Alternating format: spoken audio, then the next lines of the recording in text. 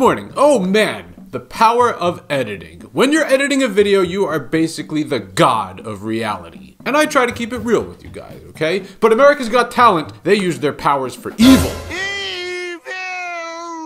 If you're new here, welcome to EMC Productions. My name is Eric, uploading one to three videos per week featuring epic drumming content. And not just chicken drumming, there's, you know, like other stuff too. I recently went on America's Got Talent as Drumstick the Chicken Drummer, and it was a very interesting experience to say the least. And it was honestly pretty cool, minus the fact that they edited out a lot of the actual drumming of my act. But before we get into that, make sure that you click that subscribe button, ring that Liberty Bell, and click that like button. Okay, so here I have a video of my act spliced in with some rehearsal footage. Now, what I'm going to do, I'm going to play it from the beginning, and when I'm on stage with America's Got Talent, that is what was shown on TV. And then when I'm in this rehearsal room, that is the stuff that was not shown on TV and got cut out of the act. Got it? Makes sense? Okay, good. Let's watch this.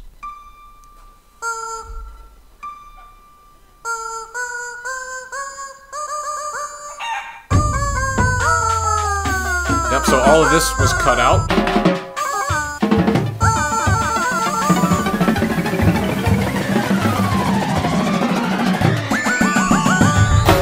Woo! Yes.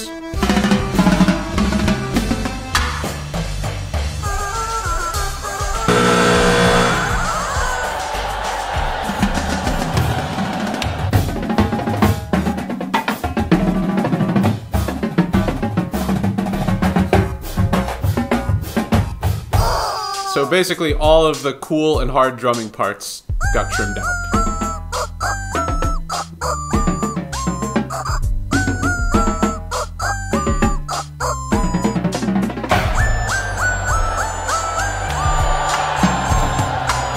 Those audience boos. oh man. Yeah, there wasn't actually an audience even there. That was all edited in. Power of editing. You can do anything you want. Yeah, so that's where the judges stop the act, but uh, I just added this at the end so you can see what actually happens after that.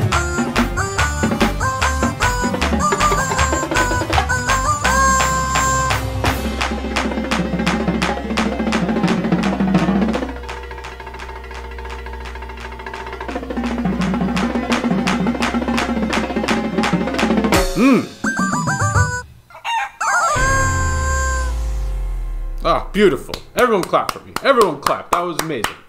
Yeah, so this whole act was uh, about 1 minute and 35-ish seconds, maybe slightly longer, and I went until 1 minute and 8 seconds. That's when Sofia pressed that last buzzer right there. And in the actual episode, my entire segment from beginning, like the interview, all the way to the end after I got off the stage, that was 3 minutes and 39 seconds.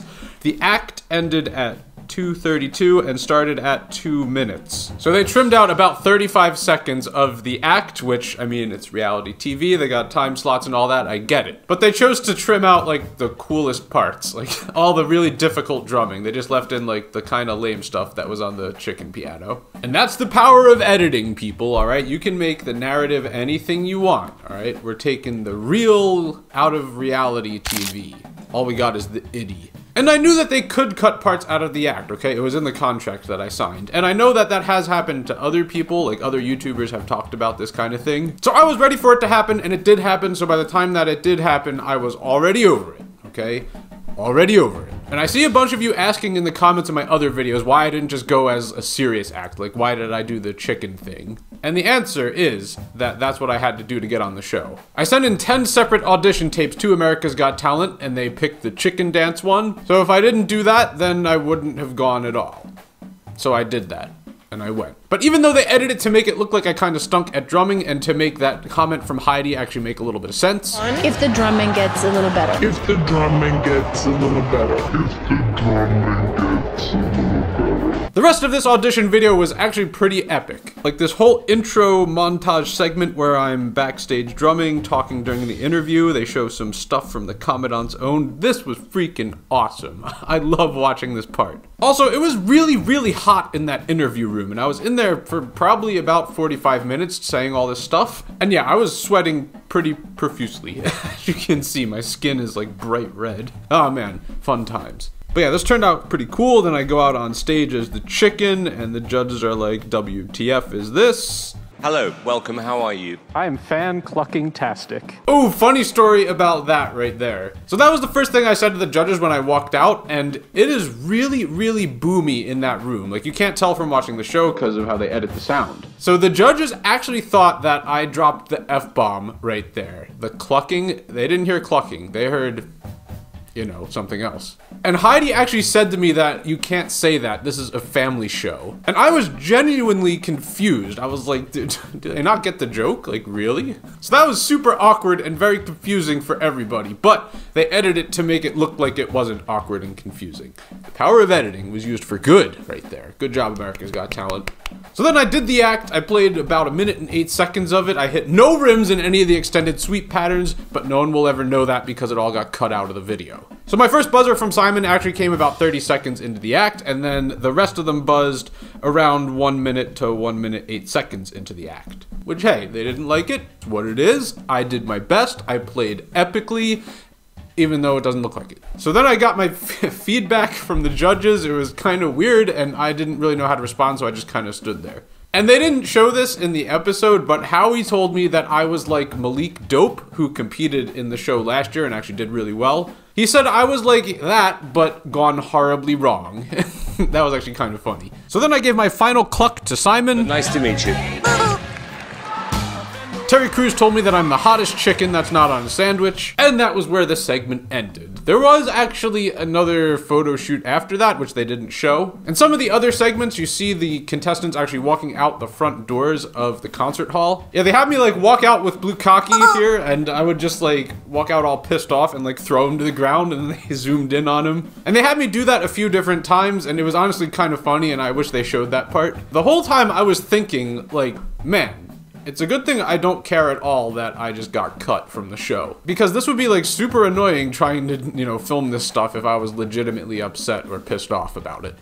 And there were a few contestants there that were actually like pretty upset that all their hopes and dreams were crushed. So I'm sure they weren't too thrilled about having to still film and do work after all that happened. But I kind of knew I was gonna get buzzed going into it. Like this whole act was really ridiculous. So when it did happen, I was already over it already over it. It's good to be over it before it happens. That's my life advice. So that's what really happened behind the scenes on America's Got Talent. It was a very interesting experience, and even though they edited it kinda, you know, poorly to make me look bad, I still want to do it again, okay? I'm thinking of ideas for going out next year. I definitely want to do a masked guy solo, and I'll probably do a serious one as myself. I don't think I'm gonna send in any audition tapes like as novelty acts or things that'll definitely get buzzed. I'm just gonna keep it serious and keep it real this time. But if you have any further ideas for audition videos, please compose that in the comments below. I'd love to hear your suggestions. And also don't forget to click that subscribe button, ring that Liberty Bell, and click that like button.